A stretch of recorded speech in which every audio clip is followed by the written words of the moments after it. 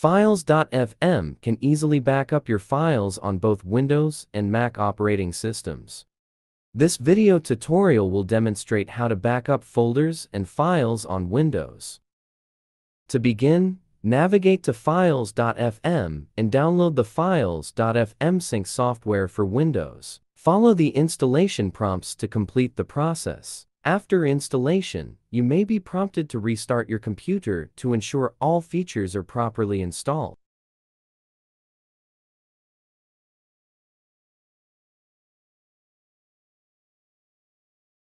After installation, you will have the files.fm sync software. Run the application and proceed by entering your registered login name and password.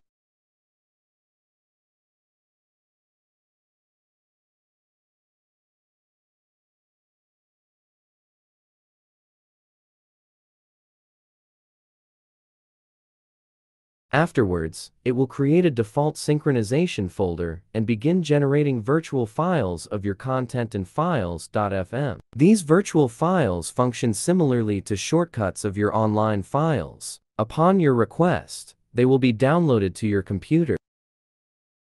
However, if you prefer to use your own folder for backup, you can remove the sync connection and add a new folder to sync. You can easily deactivate this virtual on-demand sync mode.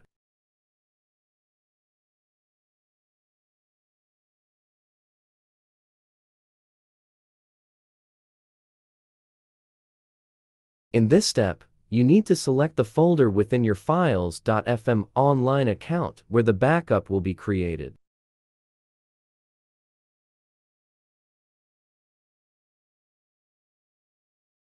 In the main window, you will see which folders are currently in the synchronization process. Over time, additional folders and more data will be synchronized. You can now leave this application to complete its tasks.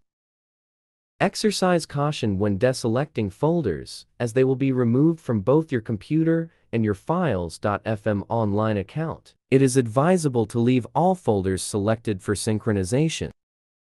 Here, you will find the total file count and the cumulative size of all folders and files.